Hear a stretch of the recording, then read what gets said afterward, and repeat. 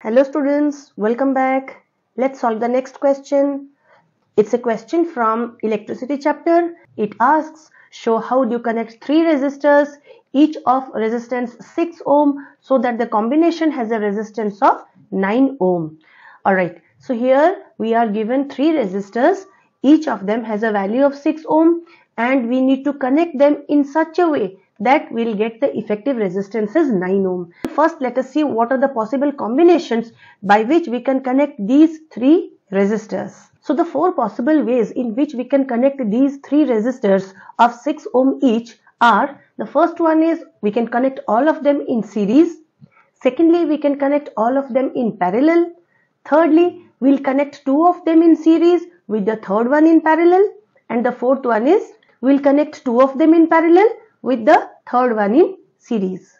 So let's solve one by one and see in which of the combinations we are getting a value of 9 ohm. So the first one is when all of them are connected in series, the equivalent resistance in series is given by R1 plus R2 plus R3 which is 6 plus 6 plus 6 which is 18 ohm.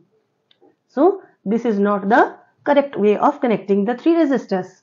Second one, all of them are in parallel. So the formula for finding out the effective resistance when the resistors are connected in parallel is 1 by Rp is 1 by R1 plus 1 by R2 plus 1 by R3 which gives us 1 by Rp is 1 by 6 plus 1 by 6 plus 1 by 6 which is 3 by 6 which is 1 by 2. So our effective resistance Rp is 2 ohm.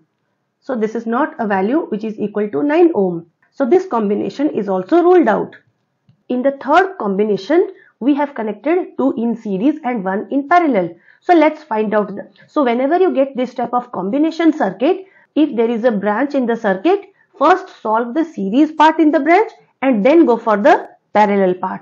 So for solving the series part, we get Rs is 6 plus 6 which is 12 ohm. Now we'll find out the resistance in parallel part. So 1 by Rp we got is 1 by 6 plus the effective resistance of these two which we got is 12 ohm which is 1 by 12. So the LCM is 12. So it is 2 plus 1 which is 3 by 12 which is 1 by 4. So the effective resistance Rp is 4 ohm which is not again the answer which we want. So let's go for the fourth one. First let us solve this branched part first. So we get 1 by Rp is 1 by 6 plus 1 by 6 which is 2 by 6 that is 1 by 3. So our Rp is 3 ohm. So the total resistance of this circuit will be Rs is equal to 6 ohm plus the effective resistance of this parallel part which is 3 ohm. So we get a total of 9 ohm. So the answer to this question is option D which is we have to connect two resistors in parallel to each other and the third one is to be connected in series to get an effective resistance of 9 ohm. So I hope you are clear with the solution. If you like the video, please give it a big thumbs up, share it with your friends and subscribe to the channel. Thanks for watching. Bye-bye. Please watch the playlist containing the solved physics questions and numericals from the previous year's board exams. I have shared the link of the playlist in the description box. It will be very helpful to you while preparing for your exams.